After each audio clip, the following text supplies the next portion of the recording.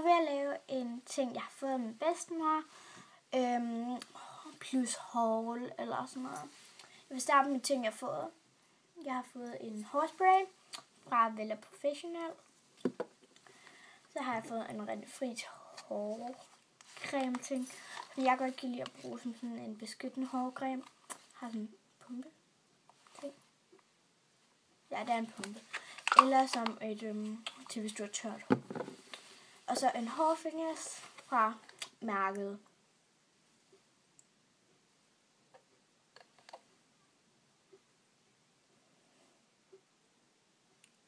Base International. Der. Som er sådan lidt til at give det lidt shine eller sådan noget. Og øhm, ned til mit hoved. Jeg har været i Netto, og det er der, det hele kommer fra.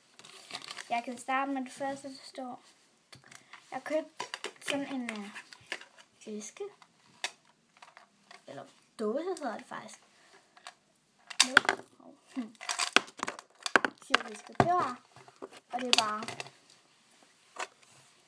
mit yndlingsbolde. De er stærke. Så. Og her hvor hot det hele. Et er mild, to er strong, og tre hottest. Og på den her,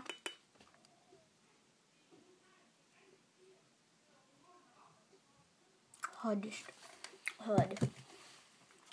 Og så har jeg købt en håndlotion fra Vaseline. Den dufter himmelsk, men alligevel sådan lidt øh, cremeagtig. Den styrker din negle og fugter dine hænder. Jeg var så glad for det, at det sådan bare kunne åbne, så man ikke var tape for her. Og um, jeg ved ikke, om jeg vidste, om jeg havde en før nye, der var på den her størrelse. Og her taget med i skole, og så har den her så stået her i stedet for. Hov, den her kostede 40 kroner. Den her koster 16,95 eller 17 kroner. Så har jeg en læbepomade, lipgloss,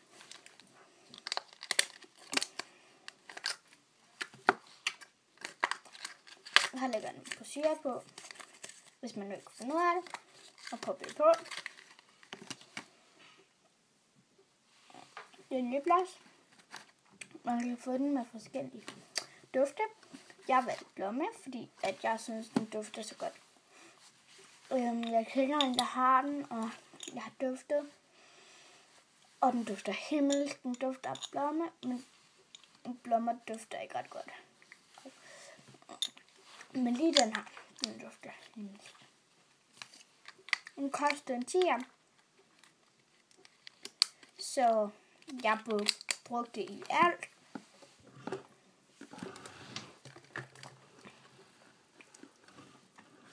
67 kroner. Ja. Det var det. Hej.